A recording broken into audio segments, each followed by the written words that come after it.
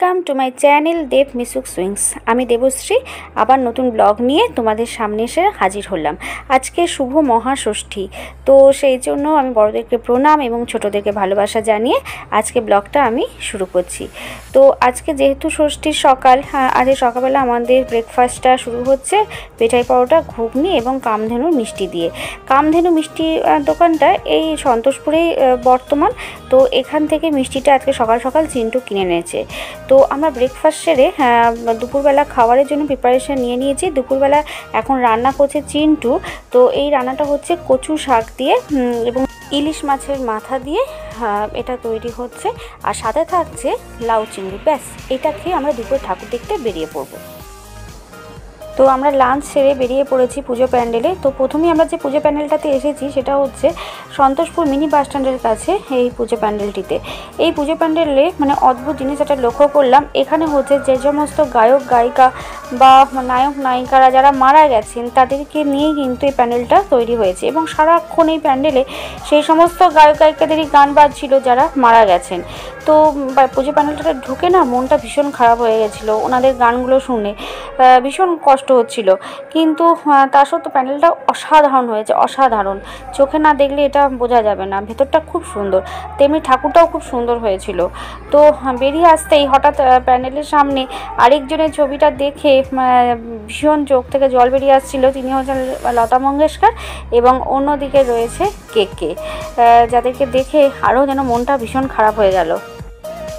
আমরা হাঁটতে হাঁটতে এগিয়ে চলেছি সন্তোষপুর লেক পল্লী প্যান্ডেলের দিকে। তো আমরা ঠিক করলাম, আজকে আমরা কোনো গাড়িতে কোথাও যাব না। তো হেঁটে হেঁটেই যাব, সামনে কয়েকটা ঠাকুর দেখব। তো মানে এই সন্তোষপুর লেক পল্লী, ত্রিকোণ পার্ক, এই ঠাকুরগুলো দেখব। দেখে তারপরে আমরা ব্যাক করব, আবার রাত্রেবেলা যাব দূরের ঠাকুরগুলো দেখতে। তো এরকম একটা প্ল্যান করেছি, কেননা মিশুকে খাওয়ারের একটা সময় ব্যাপার থাকে তো, ওকে ওর ঘুমেরও ব্যাপার থাকে, যার ফলে দুপুরবেলা আমরা দূরে কোথাও যাচ্ছি না। তো এরপরে আমরা যে পুজো প্যান্ডেলটাতে ঢুকছি, সেটা হচ্ছে সন্তোষপুর লেক পল্লীর পুজো প্যান্ডেল। এটা সন্তোষপুরের বিখ্যাত পুজো, তো এটা এবং খুব বড় পুজো। তো এটা সন্তোষপুর লেকের কাছে এই প্যান্ডেলটা হয়েছে। তো খুব সুন্দর এই প্যান্ডেলটা প্রতিবারেই করে। আমি প্রতি বছরই এই প্যান্ডেলটাতে আসি দেখতে। খুব ভালো হয় এই পুজো প্যান্ডেলটা। তো চলো, আজকে পুজো প্যান্ডেলের থিমটা কি হয়েছে, তোমরা ভেতরে গেলে বুঝতে পারবে। চলো, আমার সাথে ভেতরে চলো। মনে পড়ে? যখন কালার টিভি ছিল না, যখন ব্ল্যাক অ্যান্ড হোয়াইটে আমরা দেখতাম টিভি তখন এই দূরদর্শনের চিহ্নটা আমরা দেখতে পেতাম টিভি খুললেই এবং সাথে একটা মিউজিক এখন তো আর সেরকমভাবে দেখাই হয় না। কিন্তু এই পুরোনো দিনের এই মিউজিকটা এই দূরদর্শনের এই সাউন্ডটা এত ভালো লাগতো যে এখন যেন কানের মধ্যে বাজে। এই পুজো প্যান্ডেলটাতে ঢুকে সেই জিনিসটাই ফিল করলাম। সাদা কালো দিনের সেই যে অ্যান্টিনা তারপরে সেই যে দূরদর্শনের মিউজিক দূরদর্শনের এই যে লোগোটা আমরা দেখতাম সেটা এই প্যান্ডেলে এসে আমরা ফিল করলাম।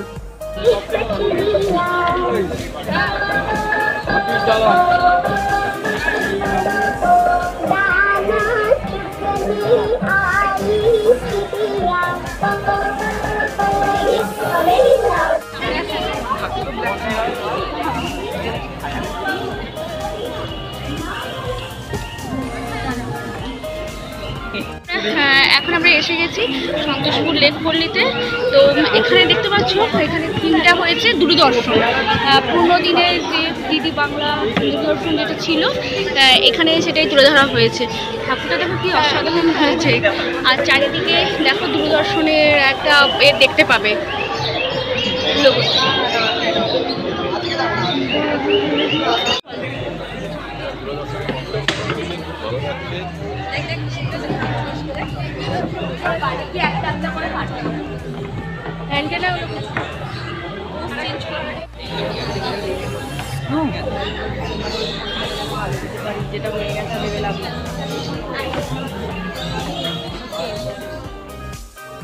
এরপরে আমরা হেঁটে চলেছি ত্রিকোণ পার্কের দিকে। এটা সন্তোষপুর লেকপল্লি থেকে একদম তিন চার মিনিটে হাঁটা পথ। সামনে এই প্যান্ডেলটা রয়েছে। তো আমরা ত্রিকোণ পার্কের দিকে এগিয়ে চলছি। তো এখানে হ্যাঁ, থিমটাও খুব ভালো করেছে আমার সাথে তোমরাও চলো ভেতরে, দেখো কীরকম হয়েছে প্যান্ডেলটা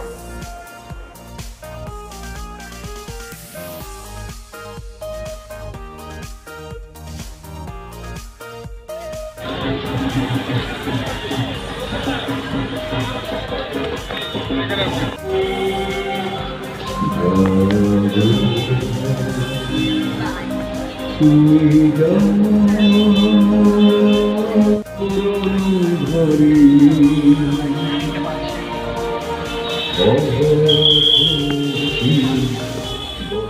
দেখতে দেখতে প্যানেল থেকে বেরিয়ে আসার পথে একটা জিনিস চোখে পড়ল। আর চট করে আমরা তাতে উঠে পড়লাম। সেটা হচ্ছে রিক্সো আসলে মিশুকে রিক্সোয় চড়াবো বলে এটা অনেক দিন আমার ইচ্ছে ছিল। তো সেই জন্য আর দেখতে পেয়েই আমরা আর ঠিক থাকতে পারলাম না রিক্সোয় উঠেই পড়লাম। তো এখন তো টোটো রাস্তাঘাটে এত বেশি চলছে যে রিক্সোটা আর নেই বললেই চলে। তাই এই অভিজ্ঞতাটা মিশুকে দেবো বলে আমরা আহ, তিনজনে রিক্সায় উঠলাম। আমরা আহ, বাড়ি চলে এসেছি। এখন সন্ধ্যে ছটা বাজে। তো বাড়ি চলে এসেছি। আবার একটু পরে আমরা বেরোবো ঠাকুর দেখতে। মিশুক যেহেতু ঘুমিয়ে গেছে ওই হ্যাঁ, কাছাকাছি পাড়া ঠাকুর দেখতে গেলাম। ঘুমিয়েছিল বলে বাধ্য হয়ে চলে এসেছি।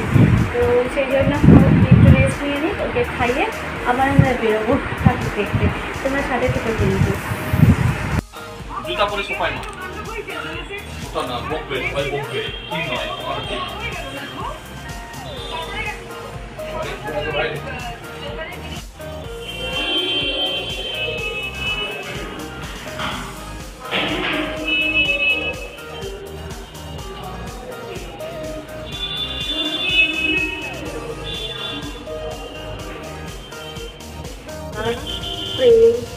যা কিছু সুন্দরতা তার উৎসস্থল হলো নারী।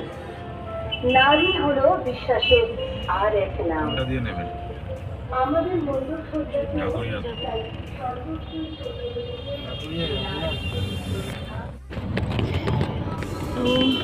আমরা এখন বেরিয়ে পড়েছি। আহ, কিন্তু হ্যাঁ, একটু তো বৃষ্টি শুরু হয়েছে। তাই ভাবছি কি হবে কি জানি। বেশ টিপ টিপ করে একটু বৃষ্টিও শুরু হচ্ছে আস্তে আস্তে। যাই হোক, এই বৃষ্টির মধ্যে একটু দেখে নিতে হবে আর কি। মিস তো করা যাবে না, নাহলে আবার যে পরের বছরের জন্য অপেক্ষা। তো চলো, তাহলে যাওয়া যাক প্যান্ডেলে। এখন আমরা যে পুজো প্যান্ডেলের দিকে এগিয়ে চলেছি, সেটা হচ্ছে বাবুবাগান সার্বজনীন কমিটি পুজো। তো এই বাবুবাগানটা এই পুজোটা ঢাকুরিয়ার কাছে এই পুজো প্যান্ডেলটা হয়েছে।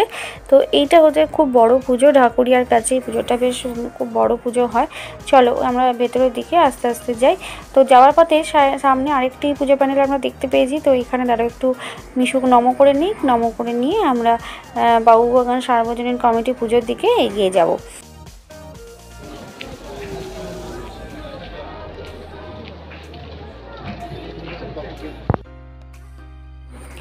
আমরা ঢুকে পড়েছি বাবু বাগানে হ্যাঁ, পুজো প্যান্ডেলের ভেতরে।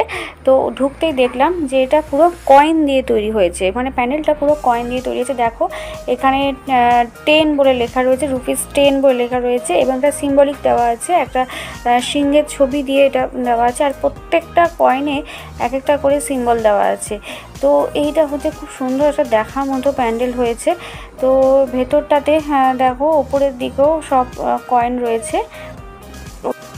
এখানে ঠাকুরও কয়েনের মধ্যেই রয়েছে। তো খুব সুন্দর হয়েছে।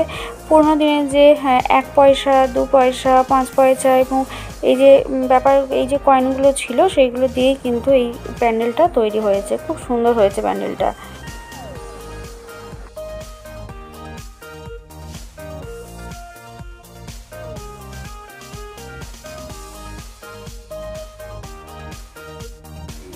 বাবুবাগানের পুজো দেখে এবার আমরা এগিয়ে যাচ্ছি সেলিমপুরের পুজোর দিকে।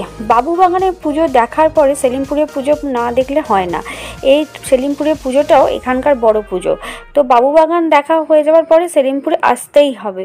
তো আমরাও সেরকম চলে এসেছি এই পুজো প্যান্ডেলে। এটা একদম ঢোকার দিকে ঢুকছি আমরা ভেতরের দিকে। তো ঢোকার মুখেই এত সুন্দর করেছে এন্ট্রান্সটা যে ভেতরটা তো না জানি আরও কত সুন্দর হবে। চলো আমার সাথে তোমরাও ভেতরে চলো, দেখো কীরকম হয়েছে প্যান্ডেলটা।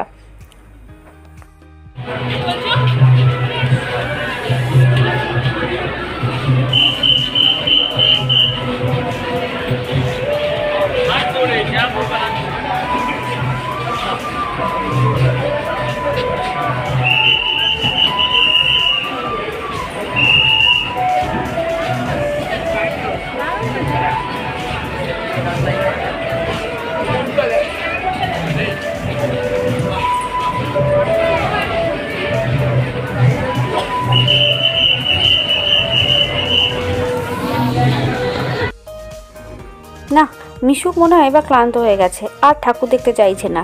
ও মাঝে মাঝে এরকমভাবে বসে পড়ছে প্যান্ডেলের ভেতরে। তাই আমরা ঠিক করলাম, আর ঠাকুর দেখব না, এবার বাড়ি যাব। তো সেই জন্য প্যান্ডেল থেকে বেরিয়ে আমরা এবার বাড়ি যাওয়ার জন্য প্রস্তুতি নিচ্ছি। তো চলো আজকের মতো ব্লগটা আমাকে এখানেই শেষ করতে হচ্ছে। আহ, ষষ্ঠীর ব্লগ তোমাদের কেমন লাগল অবশ্যই আমাকে জানিও। আর যে ঠাকুরগুলো আজকে তোমাদের দেখালাম কেমন লাগল অবশ্যই আমাকে জানিও। তো দেখা হচ্ছে আবার সপ্তমী ব্লগ নিয়ে তোমাদের সামনে এসে আবার হাজির হব।